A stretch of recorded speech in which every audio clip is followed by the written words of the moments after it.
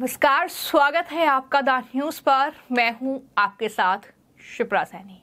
लोकसभा चुनावों के बीच खालिस्तानी आतंकी गुरु पतवंत सिंह पन्नू की हत्या की नाकाम साजिश के मामले में अब अमेरिका ने भारत पर एक बार फिर से गंभीर आरोप लगाए हैं। दरअसल, अमेरिकी मीडिया की ओर से भारत की खुफिया agency research and analysis wing, यानी रो पर ये गंभीर आरोप लगाए गए हैं, जिसमें अमेरिका में विक्रम यादव नाम के रो अधिकारी पन्नू की हत्या की साजिश में शामिल थे ये गंभीर आरोप अमेरिकी मीडिया द वॉशिंगटन पोस्ट के ज़रिए लगाए गए हैं। जी हाँ, ये बड़ी खबर है कि अमेरिकी मीडिया द वॉशिंगटन पोस्ट की खबर में ये दावा किया गया है कि अमेरिका में विक्रम यादव नाम के रो अधिकारी ने पन्नू की हत्या की साजिश रची थी, वो उसकी हत्या की साजिश में शामिल था। और इस कदम को भारतीय जासूसी एजेंसी के तत्कालीन प्रमुख सामंत गोयल ने मंजूरी दी थी ये भी गंभीर आरोप द वॉशिंगटन पोस्ट में लगाया गया है। लेकिन इस पूरी खबर को लेकर अब भारतीय विदेश मंत्रालय का जवाब सामने आया है, जिसमें उन्होंने अमेरिका को फटकारते हुए साफ़ तौर पर कहा है कि इस खबर में कोई सच्चाई नहीं है। भारतीय विदेश मंत्रालय के प्रवक्ता रणधीर जायसवाल ने यह कहा यह एक गंभीर मामला है और ये आरोप पूरी तरीके से अनुचित है। ये रिपोर्ट अनुचित है और ये आरोप निराधार हैं। ये साफ़ तौर पर भारतीय विदेश मंत्रालय की ओर से कहा गया है। साथ ही विदेश मंत्रालय के प्रवक्ता रणधीर जायसवाल ने यह भी कहा कि संबंधित रिपोर्ट एक गंभीर मामले पर अनुचित और निराधार आरोप लगाती है। संगठित अपराधियों, आतंकवादियों और अन्य लोगों के नेटवर्क पर अमेरिकी सरकार की ओर से साझा की गई सुरक्षा चिंताओं को देखने के लिए भारत सरकार की गठित उच्च स्तरीय समिति की जाँच चल रही है। इस पर अटकलें और गैर जिम्मेदाराना टिप्पणियाँ मददगार नहीं है।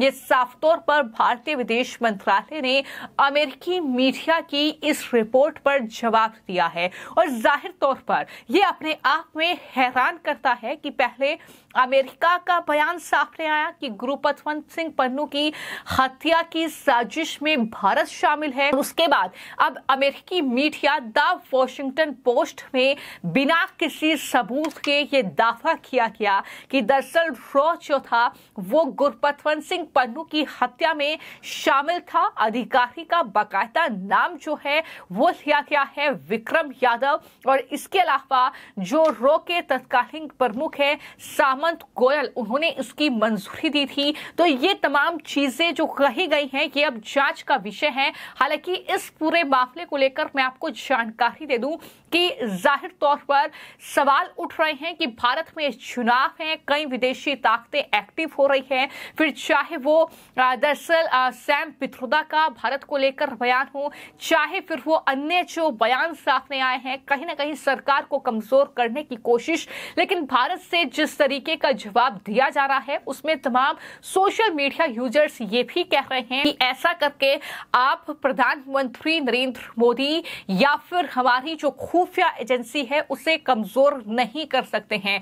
बीजेपी और 20 सीटें ज़्यादा जीतेगी। ये ऋषि बाखरी का पोस्ट है। तो इस तरीके से लोग इस पूरी खबर को लेकर अलग अलग टिप्पणियाँ कर रहे हैं। लेकिन मैं आपको जानकारी दे दूँ कि न सिर्फ़ भारतीय विदेश मंत्रालय ने इस पूरी खबर को सिरे से खारिज किया है बल्कि व्हाइट हाउस से भी बयान दिया गया है और कहा है कि भारत सिख अलगाववादी नेता गुरपतवंत सिंह पन्नू की अमेरिका में हत्या की साजिश से जुड़े आरोपों को गंभीरता से ले रहा है। हालाँकि उसने इस मामले में संघीय जाँच ब्यूरो यानी एफबीआई की जाँच और न्याय विभाग की ओर से दायर आपराधिक मामले पर कोई टिप्पणी नहीं की है। व्हाइट हाउस की प्रेस सचिव कैथरीन ने इस खबर के बारे में जब उनसे पूछा गया कि वॉशिंगटन पोस्ट में इस तरह की खबर छापी गई है। तो उन्होंने कहा कि जाँच इस पूरे मामले की की जा रही है और न्याय विभाग आपराधिक जाँच कर रहा है।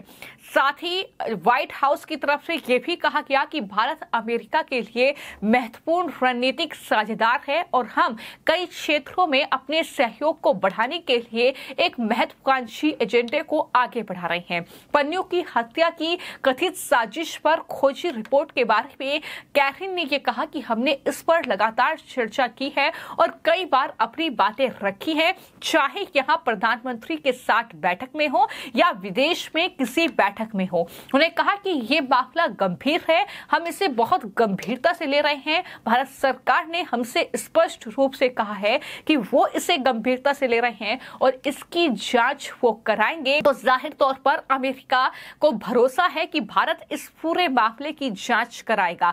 ज़ाहिर तौर पर जिस तरीके से खालिस्तानी आतंकी गुरपतवंत सिंह पन्नू को लेकर लगातार जो सोशल मीडिया पर खबरें फैलती हैं, जिस तरीके से कनाडा से लेकर अमेरिका तक भारत पर आरोप लगते हैं कि गुरपतवंत सिंह पन्नू की अमेरिका में हत्या की साजिश भारत ने नची हालाँकि इसको लेकर कमेटी जो है, वो गठित की गई और वो कमेटी जाँच कर रही है कि ये आरोप भारत पर क्यों लग रहे हैं। वो भी बिना किसी सबूत के सिर्फ़ आरोप लगाए जा रहे हैं, क्योंकि भारत में चुनाव भी है और चुनावी माहौल में कई राजनीतिक दल ऐसे हैं, फिर चाहे कांग्रेस पार्टी हो, आम आदमी पार्टी हो, जो कि कहीं ना कहीं अपने राजनीतिक मकसद को पूरा करने के लिए विदेशी ताकतों का सहारा लेती हैं, जो कि भारत के खिलाफ हैं और इस तरीके से भारत की भी सुरक्षा को कहीं ना कहीं ये दल खतरे में डालते हैं। तो ऐसे में ये मामला जाँच का विषय है और जाँच का इंतज़ार न सिर्फ़ अमेरिका को है,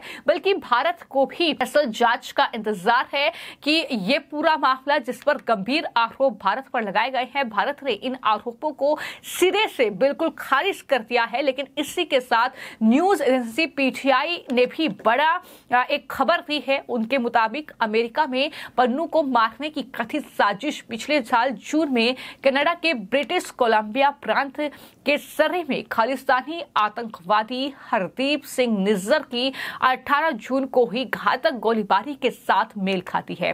पश्चिमी देशों के अधिकारियों के मुताबिक वो अभियान भी यादव से जुड़ा था। वॉशिंगटन पोस्ट की खबर में यह भी कहा गया है कि हत्या की दोनों साजिश पाकिस्तान में हिंसा बढ़ने के बीच रची गई, जहाँ निर्वासन में रह रहे और नरेंद्र मोदी सरकार के आतंकवादी करार दिए गए। कम से कम 11 सिख या कश्मीरी अलगाववादियों की पिछले दो साल में हत्या कर दी गई है। अन्नू मामले में अमेरिका के लगाए आरोपों की जाँच के बारे में पूछे जाने पर भारत के विदेश मंत्रालय के प्रवक्ता का ये जवाब है कि हमने एक उच्च स्तरीय समिति गठित की है। समिति अमेरिका द्वारा हमसे साझा की गई सूचना पर गौर कर रही है, क्योंकि इसका हमारी राष्ट्रीय सुरक्षा पर भी समान रूप से प्रभाव पड़ता है। ये साफ़ तौर पर विदेश मंत्रालय का जवाब है। लेकिन इस पूरे मामले को लेकर भारत का विदेश मंत्रालय साथ ही जो एनएसए हैं, अजीत डोभाल, साथ ही प्रधानमंत्री नरेंद्र मोदी, क्या एक्शन लेंगे,